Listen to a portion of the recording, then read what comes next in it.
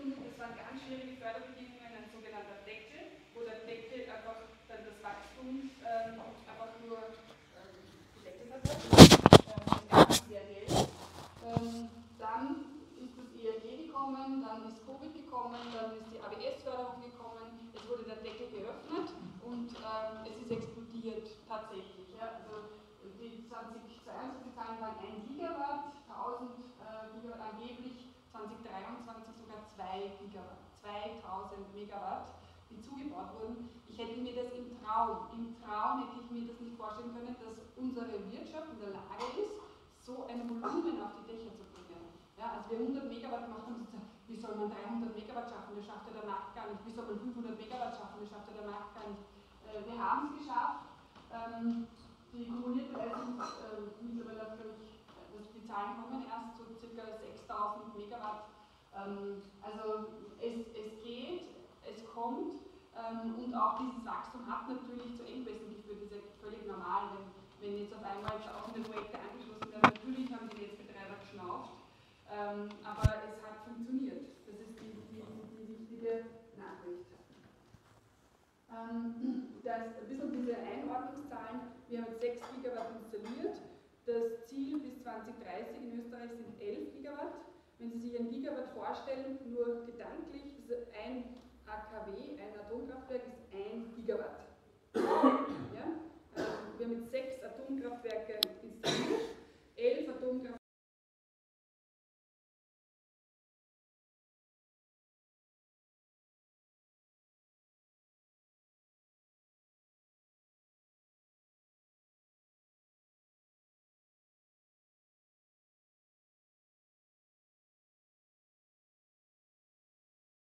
that, that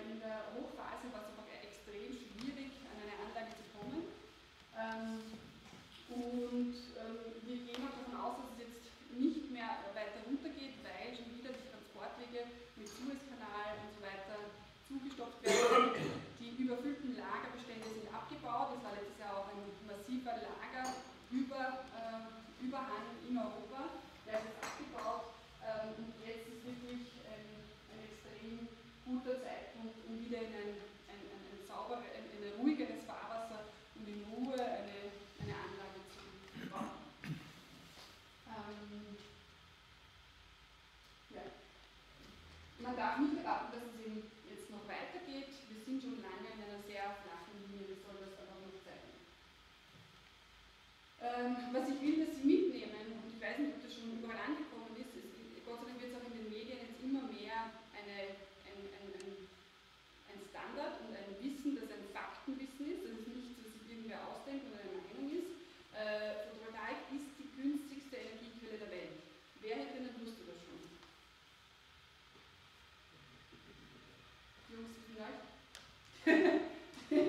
Jetzt schon, oder? Vor ein paar Jahren sicher nicht. Günstig heißt in. In Kilowattstundenpreisen.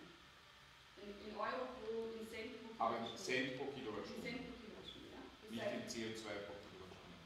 Nein. Es geht nur, also ich habe mich immer schon auf Wirtschaftlichkeit äh, spezialisiert. Es ist schön, dass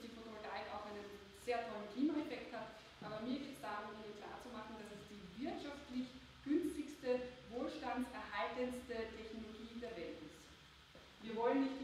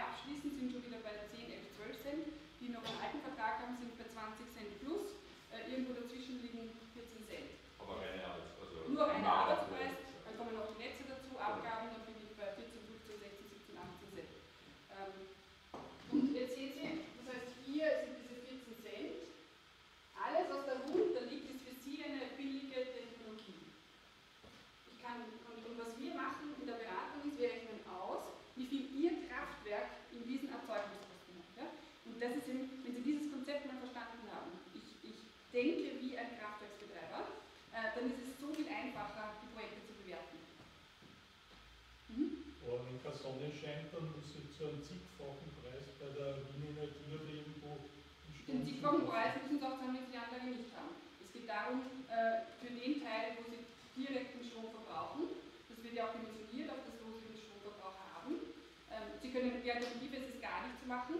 Äh, wenn sie es machen, haben sie natürlich noch Zeiten, wo sie auch einkaufen müssen. Aber der, der Gesamtsumme, die sie einkaufen müssen, sind natürlich je nachdem, wie groß ihr Dach ist und das, und das kleiner. Aber die verlangen ja dann für die das Zigfache. nicht mehr, nur weil sie eine Photovoltaikanlage haben. Also es gibt, die machen keinen Unterschied, ob sie, es, wird, es gibt keine Strafsteuer für Photovoltaikbesitzer. Also das habe ich schon gehört. Das Es gibt blöde Verkäufer, die das den Leuten einreden, aber ähm, sie können jederzeit den Anbieter wechseln.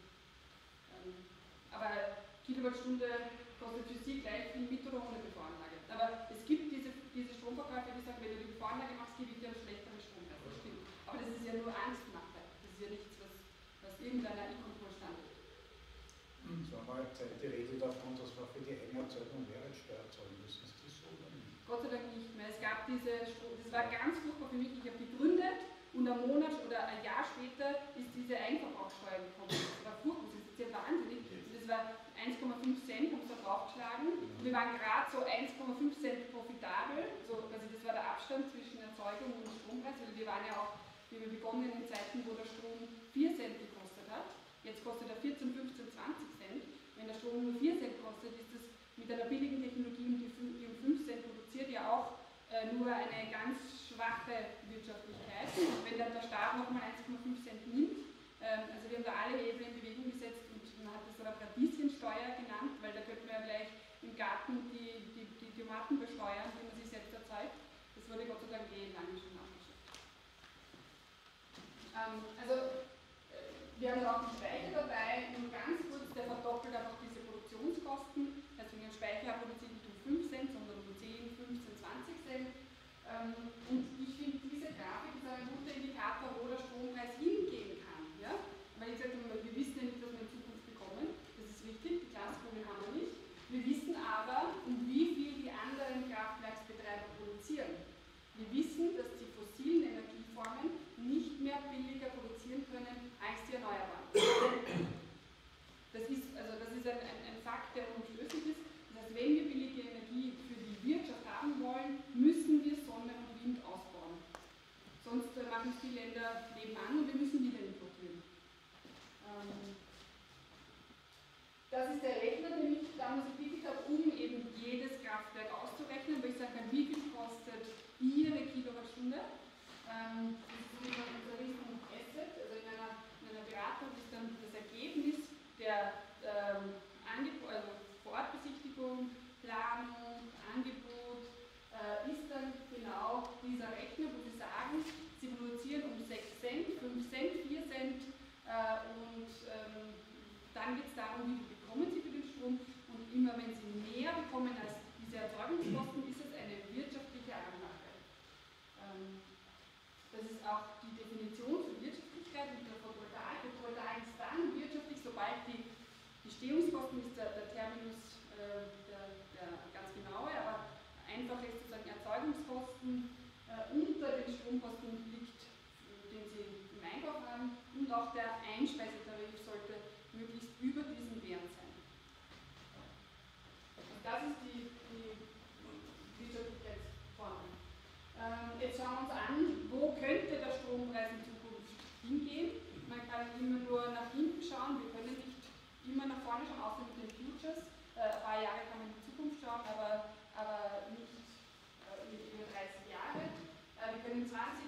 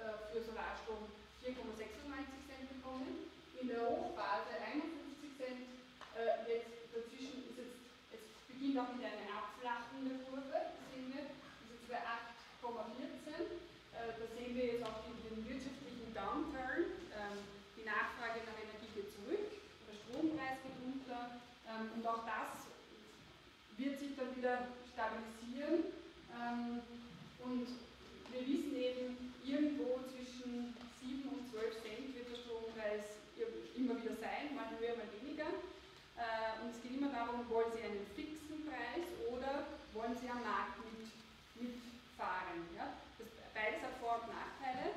Wenn Sie am Markt mitfahren, können Sie die Höhen auch mitnehmen, aber dann nehmen Sie auch Täler mit. Wenn Sie einen fixen Tarif wollen, dann wird das immer irgendwo, dann wird das nie ganz unten und nie ganz oben sein, sondern irgendwo dazwischen.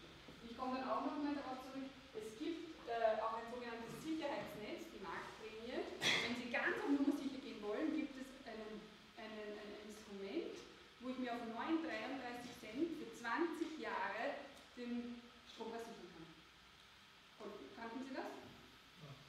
Das, ist, äh, das kennen viele nicht. Ja? Also bei 9,33 könnte man sich absichern, wenn man ganz auf Nummer sicher gehen will. 20 Jahre sind wir. 20 Jahre. Fixiert oder, oder Nein, fix. fix? Fix. Aber ich brauche den Index, weil der, der, die Kosten sind mit der Anlage fixiert. Ich baue die Anlage, ich habe dann keine höheren Kosten mehr. Also mit dem Tag der Installation sind die Bestimmungskosten fixiert mit 5 Cent. Ähm, ich, hab, ich kann jetzt, wenn ich will, die Reparaturkosten indexieren, bla, da bin ich in der zweiten Kommastelle von rechts, äh, wie, wie das.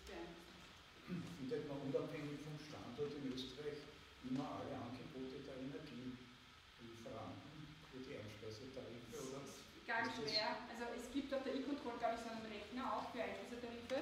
Ähm, das muss man sich wirklich, das ändert sich fast monatlich. Ähm, ist ganz schwer, da einen Überblick zu behalten. Oder Ne? ist es ortsabhängig, wo man die Anlage hat? Oder? Nein, nein. Also ich habe äh, die, die Frage wegen äh, der Bundesländer. Ist das anscheinend unterschiedlich, weil im Burgenland gibt es wesentlich mehr, nicht nur Windstrom, sondern auch Solarenergie mittlerweile. Und Ja offeriert ja auch spezielle ja. Angebote, die durchaus attraktiv sind. Ja. Das ist ja eine Frage. Und die andere ist, äh, die vielen Supermärkte haben immer noch kaum Solaranlagen. Mhm. Äh, tut sich da jetzt was? Äh, mhm. Weil es ist ja unlogisch. Wenn es günstiger wäre, dann würde es sich ja auszahlen. Also ist ja schon marktfähig, das Absolut, Ganze. Ja. danke für die, für die beiden Fragen. Äh, sehr spannend. Die Bundesländer sind unterschiedlich, weil die Energieversorger unterschiedliche Strategien haben und unterschiedliche Beharrungskräfte. Sie müssen sich vorstellen,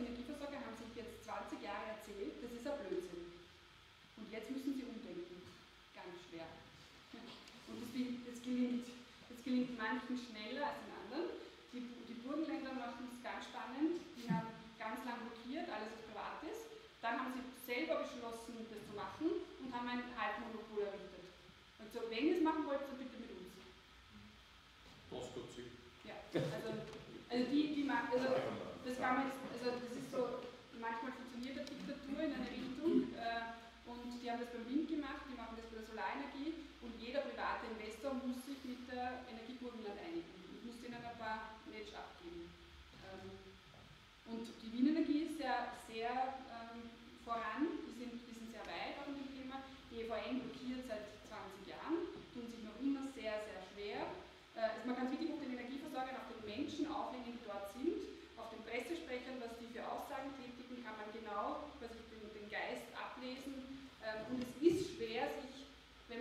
lange eingeredet hat. Das kennen Sie von sich selbst.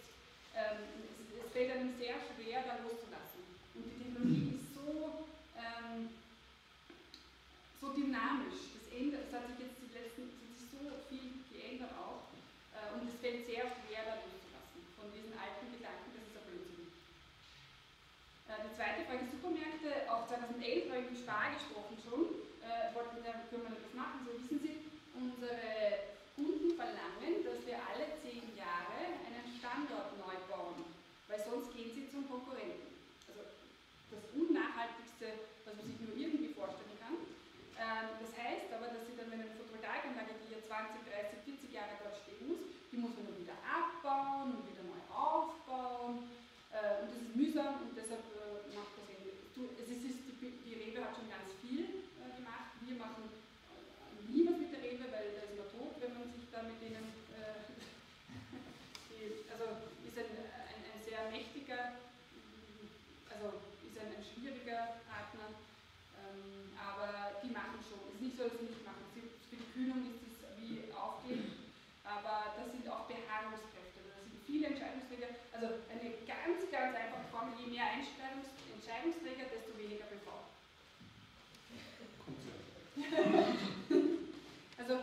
kommt dann bei den Gesprächen immer, dass so viele Entscheidungsträger auf einem Tisch sind, weil jeder hat das anders gehört, jeder will sich mitteilen, jeder will sein Wissen einbringen äh, und, äh, und dadurch ist es dann wichtig, dass man sich wirklich auch ähm, ja, zusammen äh, alle, alle Vorbehalte, die man sich eingeredet hat, jahrelang ähm, eben bespricht.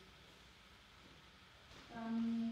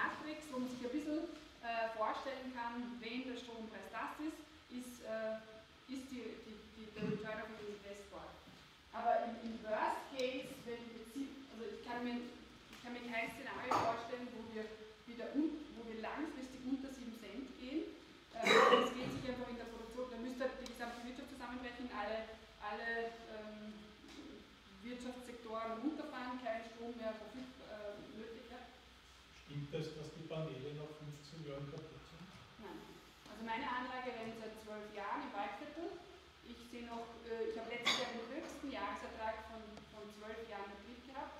Ähm, es gibt eine sogenannte Degradation, theoretisch, das heißt, dass so jährlich ein bisschen weniger wird. Die wird aber wettgemacht, wenn mehr Sonne scheint. Also wir hatten 2022 das sonnenreichste Jahr in 20, 30 Jahren. Äh, dadurch hat die Anlage den höchsten Ertrag. Also wenn nur eine Woche länger Sonnenschein da ist, ist jede Mini-Degradation wieder, wieder hinüber. Das schlechteste Jahr war aber nicht, weil die Immunen schlecht sind, sondern weil einfach wenig Sonne da war. Also natürlich gibt es schlechte Module. Ja? Also da müssen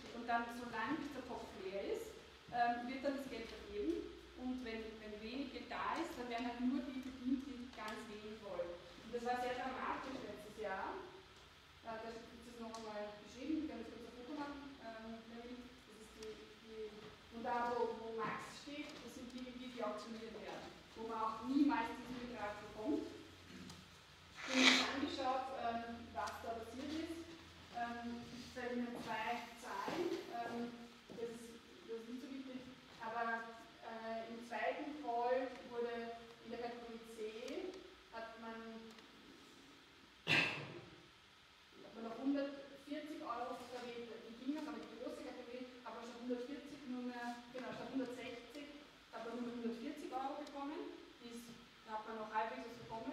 Aber in der großen Kategorie ab 100 ist es auf 84 Euro runtergegangen. Äh, also man kriegt für große Anlagen nur mehr 84 Euro pro KW. Äh, es sind auch nur ein Bruchteil genehmigt worden, das heißt, die sind alle noch in der Warteschlange. Große Anlagen können im Moment mit, in, in den Bundesländern mit 50, 60, 70 Euro pro KW rechnen. Ähm, das, was man steuerlich sagen kann, das funktioniert. Das Steuergeld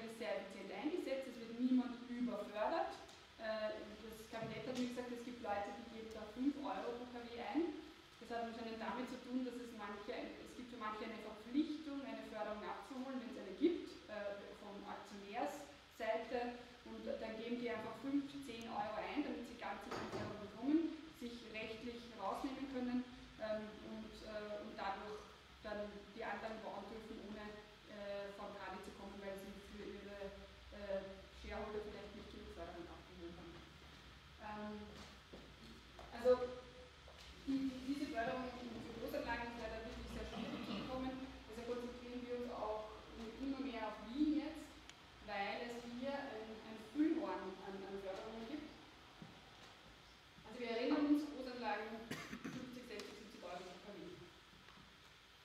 Ähm, es gibt in Wien ganz viele verschiedene Förderungen und die Standardförderung ist wahrscheinlich in den meisten Fällen die, die für sie zutrifft. Äh, und da sind wir bis 100 kW bei 250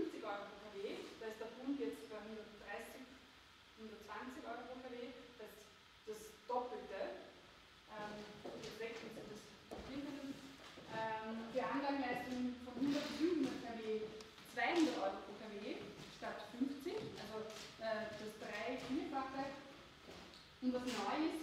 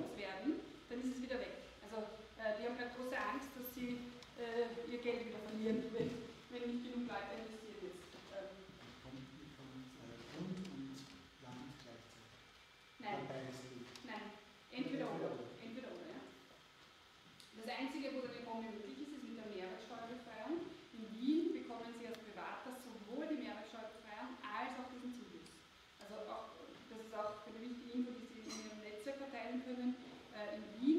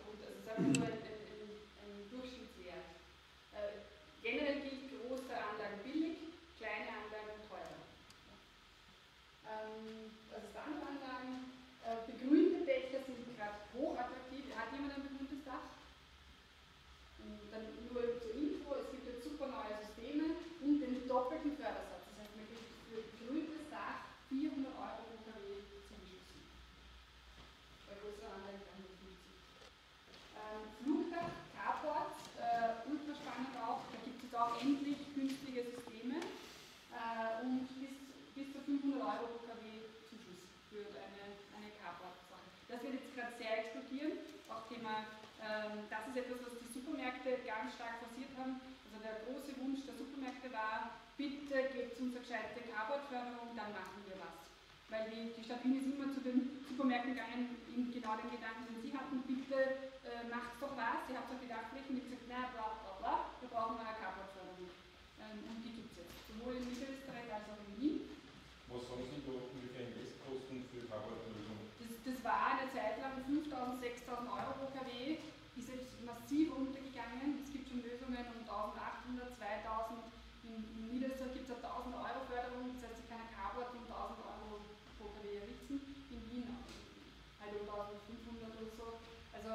hat sich massiv ähm, entwickelt. Äh, es gibt endlich Lösungen für das Thema. Es gab aber die Anbieter nicht. Es ist schon eine komplexe Sache, da Bauwerk hinzustellen. Ähm, und ähm, die Carports kommen jetzt ganz, ganz, ganz stark. Ähm, doppelte Förderung für mehrgeschossigen Wohnbau, auch äh, eine ganz wichtige Neuerung. Das ist viel teurer im mehrgeschossigen Wohnbau. Ich müsste über viele Stockwerke die Kabel unterlegen, sehr komplizierte Dachaufbauten äh, teilweise. Und auch da gibt es doppelte Förderung für die ersten 100 kW 500 Euro pro kW. Äh, also wer jetzt die mehrgeschossigen Wohnbau nicht mag, natürlich haben wir die ganzen Eigentumsprobleme, aber auf jeden Fall mal starten und schauen, in die Gänge zu kommen, auch im, im mehrgeschossigen Wohnbau. Bitte Spaß jemand? Die Verschattung, weil Sie die Verschattung spart nicht. Wie stark ist es, wenn man, einen, wenn man jetzt einen, einen Baum davor hat? Oder muss man sich genau anschauen. Äh, entweder den, wenn ein Baum da ist, dann kann man Optimierer einbauen. Natürlich ist eine Verschattung nicht wünschenswert, aber da brauchen Sie einen Planer vor Ort, der sagt, das und das wäre nötig, ähm, so und so kann man es machen. Ähm, manchmal ist, also einen Baum für eine PV-Anlage zu fällen, ist wirklich kein Problem. So eine Anlage ersetzt dann einen Wald von 100 Bäumen äh, und wenn dafür ein Baum fallen muss, ist das kein Drama. Ja? Also Bäume werden jeden Tag gefällt für Stühle und so. wenn das der eine Baum ist von der PV-Anlage, ist das kein Thema, außer mit der Stadt Wien, dann hat man Problem. Also speziell im mehrgeschossigen Wohnbau im Bestand natürlich so Nachkriegszeit 60er, 50er, 60er, 70er, wie schaut das da aus mit den, mit den Lasten? Wir hören das immer wieder Ja, von Hausverwaltungen, äh, die dann auch wieder zurückgreifen auf alte Pläne und von Statikern, die dann sagen, na mit den Auflasten, also das ist ein Thema und das können sie nicht. Ja, ist, ist eines der 30 K.O.-Kriterien für eine Photovoltaikanlage, muss man im Detail anschauen. Die Schneelasten wurden gerade reduziert, das heißt, es gehen jetzt Projekte, die vor zwei Jahren nicht äh, gingen, gehen aber dann wieder, äh, weil die, wenn man die Schneelasten wieder Speziell da in, in, in Ost- Innerviergraden ist es vielleicht anders noch, aber ist ja eher ein anderes Gesetz. Also Also ähm, ist ein Thema, ähm, man sich anschauen, ist aber in, den seltensten Fällen dann wirklich so. Man, manchmal ist es halt so, ja, da kann man eh nichts machen. Aber es ist nicht so, dass jedes Dach nicht geht. Ähm, dann abschließend die Marktprämie, die ich schon erwähnt habe. Wenn man jetzt sagt, äh, ist alles unsicher mit dem Einspeisen, ähm, ich möchte mich absichern, ich möchte eine Million investieren, möchte aber wissen, dass da wirklich konsequent die, die Rückflüsse in einem überschaubaren Rahmen sind, ähm, dann gibt es die Marktprämie, die wenige kennen und die liegt derzeit bei unglaublichen 9,33 Cent.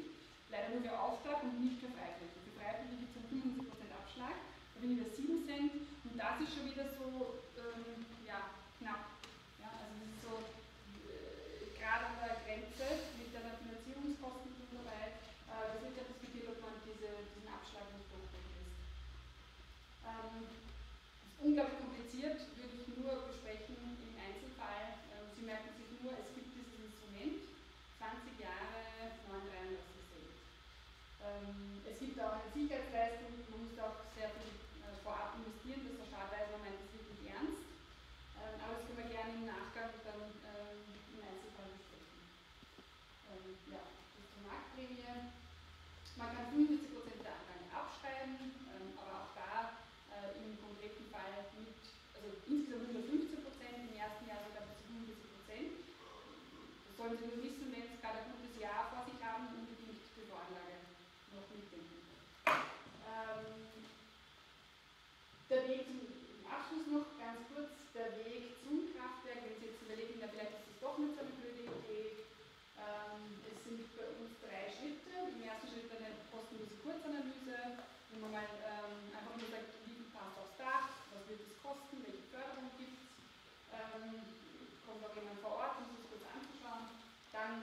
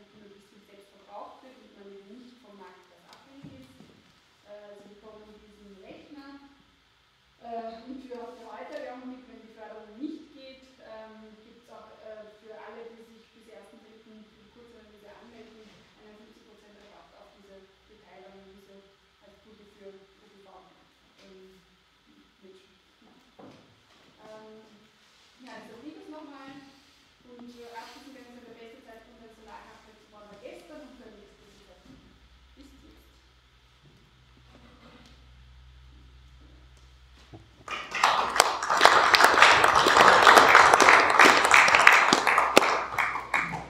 Herzlichen Dank. Du kannst, nein, nein, ich, wir, wir haben auch gemerkt, dass du urschnell reden kannst, wenn die Zeit knapp wird. Ähm, gerne Fragen. Also äh, mein, mein Auftrag ist, Ihnen mitzuteilen, dass Sie natürlich, äh, dass der offizielle Teil jetzt vorbei ist, das hätten Sie nie selber geraten, ähm, dass Sie unbedingt aufessen und dass Sie jede Frage, die zum Thema passt, gerne stellen sollen, können. Jetzt, los. Eine Frage zu der ganzen Geschichte Einspeisung und Rückführung der überschüssigen Solarenergie. Wie amortisieren Sie die Speicherlösungen? Ähm, bei der einen Grafik am Anfang war ein Balkenspeicher und es ist dieselbe Geschichte. Ich muss einfach die Erzeugungskosten ausrechnen mit dem Speicher. Und äh, Faustregel ist, die Gestehungskosten, die Erzeugungskosten verdoppeln sich mit dem Speicher. Das heißt, wenn Sie vorher ohne Speicher um 5 Cent produziert haben, produzieren Sie nachher um 10, 15 Cent. Ja? Das heißt, die, die Wirtschaftlichkeitsrechnung lautet dann, wenn der Strompreis über 15 Cent liegt oder der Einspeisetarif über 15 Cent liegt, dann rechnet sich das auch mit dem Speicher. Ein Speicher macht ein Projekt nie wirtschaftlich besser, ganz wichtig. Äh, es geht nur darum, ob es es kaputt rechnet. Also wir schauen uns dann an, macht der Speicher das Projekt kaputt? Ähm, ich, mir, ich bin nicht die Richtige, die Speicher verkauft, ich rede es den Leuten immer aus. Oder ich will nur zumindest, dass es eine, eine richtige Entscheidung ist. Äh, ich habe auch meinem Vater gesagt, du willst du wirklich einen Speicher? Du weißt schon, das kostet nur viel und bringt wenig. Äh, ich will das aber haben. Ja?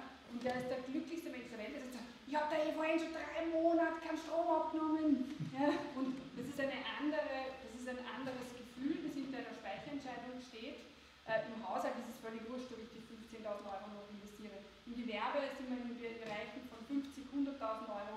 Ähm, da muss ich mir schon überlegen, ob ich das mache. Ein Speicher macht dann Sinn, wenn er mehr Funktion hat als nur Eigenverbrauchsoptimierung, wenn er das Netz schützt, äh, wenn er vielleicht einen Trafozubau verhindert, das haben wir auch manchmal, äh, dass ein, ein, Unternehmen eigentlich für den Stromverbrauch einen neuen Trafo bräuchte, mit der PV-Anlage und dem Speicher dazu, dann aber vielleicht nicht, weil es die Klimaanlage betrifft oder so. Ja, also wenn ein Speicher mehr Funktionen hat als nur die Eigenverbrauchsoptimierung, dann ist es, ist es spannend.